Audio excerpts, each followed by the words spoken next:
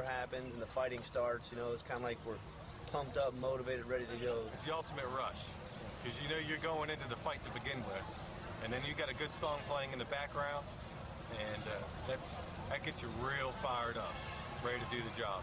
You can hook your CD player up to the, the tank's internal communication a Charlie system. box? So that way, when you put your helmet on, you can hear it through the helmet. This is the one we listen to the most. This is the one we try when we kill the enemy.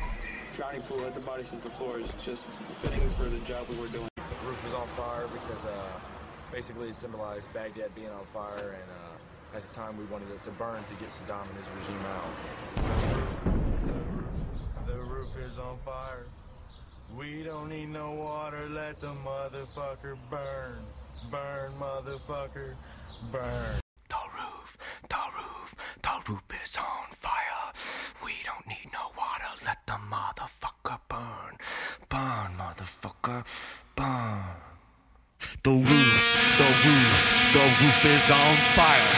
We don't need no water, let the motherfucker burn. Burn, motherfucker, burn!